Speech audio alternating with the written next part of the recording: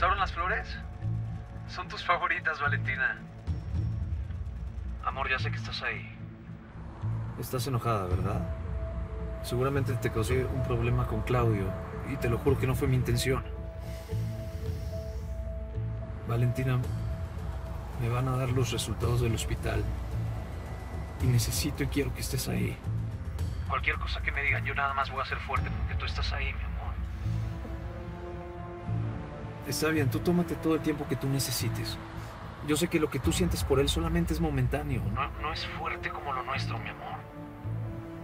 Pero vas a reaccionar y, y vamos a seguir con nuestras vidas. Vamos, nos vamos a ir a Milán y ahí vas a ser una gran diseñadora, mi amor. Valentina, dime algo, por favor.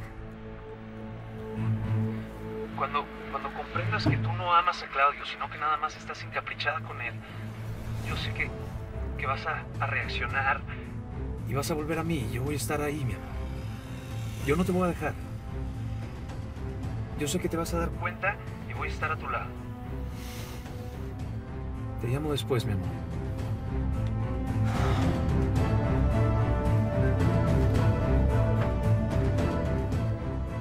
Seguramente las flores la pusieron en un predicamento. No importa, yo voy a vencer a Claudio, voy a recuperar a Valentina. Voy a recuperar mi dinero. Mira, güey, no me queda. Ah, pues hágale uno de su talla para que no, pa' que no ¿Se refiere a la ropa para su muñeca? Ah, a verla. A, A ver, ver, déjame verla. Órale, este pantalón te quedó bien bonito. No es un pantalón, es una camisa y ese es el cuello. Ah, ah, ah, pues está, está bonito. No te preocupes, mi amor, está muy bonita. No es cierto, está horrible. Ah, no, pues no, horrible, sí, horrible. Digo, no es así como el mejor, pero horrible. No. No mientan, no sé coser. Ese- Oh, mira, bueno. Mira, mi Nina, te amor. está hablando tu abuela, pues. Ah, ¿qué le pasa a esta juventud moderna, hombre? Estos niños de hoy, todos quieren que le salga la primera, pues. Fíjale que los teños se echan a perder y luego lo arreglan y echan a perder y luego lo arreglan, pues.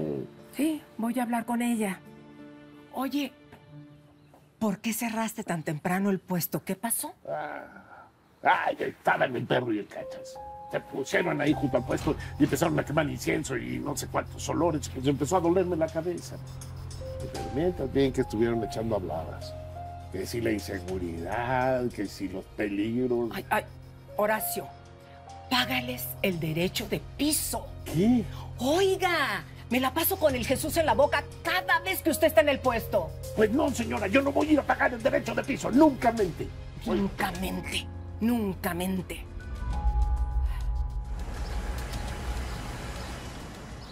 No te voy a mentir, Nora. Yo no te quería aquí y de hecho no estoy convencida de que te quedes.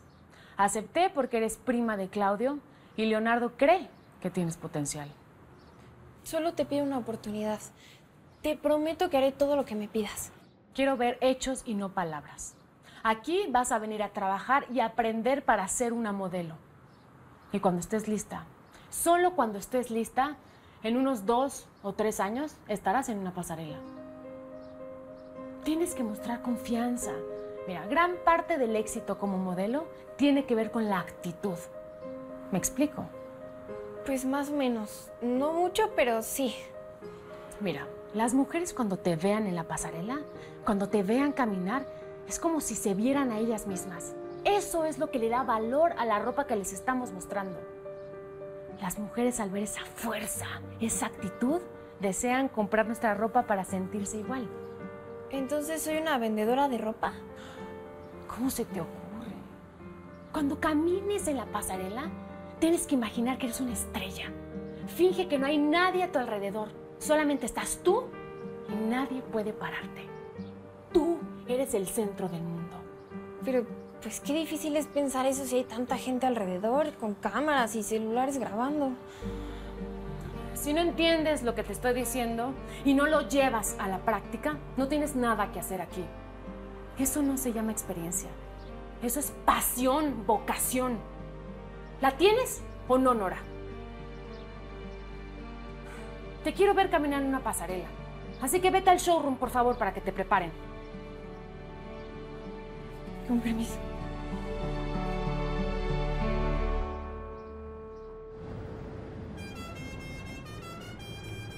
¿Qué hay, perro? ¿Qué o qué? ¿Por qué o qué? ¿A dónde? ¿A dónde? Pues si no te voy a hacer nada. Tranquilo. Pues a ver, ¿qué se traen con Horacio? Narices, no sé de qué me hablas. Dile al Brochas que si le hacen algo a Horacio, tocan a mi familia, no se la van a acabar conmigo. Si le digo eso, el que no se la va a acabar eres tu hijo. Además, acuérdate que tú tienes cinco viejas. Las dos mamazotas que viven con el Horacio, tu mamá, tu carnala y hasta tu hija. Yo nomás te aviso, hijo. Ya ves cómo hay de peligros en la calle. Luego ya están solitas. No vaya a ser que algo malo les pase.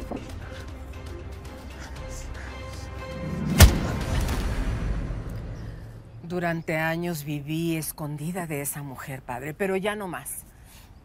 ¿Y estás segura que ella sabe de ti? Pues es que algo, algo aquí en el pecho me dice que Yolanda está más cerca de lo que creo. Y no me pregunte por qué, padre. No hay explicación, pero es así como si fuera un presentimiento. Ya te he dicho que los hechos no resueltos del pasado causan estragos en el presente. Ay, padre, no me ponga más nerviosa de lo que ya estoy. ¿Qué vas a hacer, Consuelo, cuando el destino te alcance? Dile a Gildardo que no se pasen de lanza conmigo, ¿eh? Le tocan un pelo a alguien de mi familia y acabo con todos ustedes. Sí, Te, te puedo caer con medio barrio también, ¿eh? Sí, yo le digo. No me vayan a tocar Horacio y no se me acerquen al puesto. ¿Entendido? ¡Pues contesta! Pues, ¿Qué te Sí, pasa? sí, ya entendí. Pero ya no me pegues, ¡Ey, Héctor. ey, ey, ey, ey, ey! ¿Qué pasó, perro? Eh, abusado. Mírate en el espejo ese, compadre.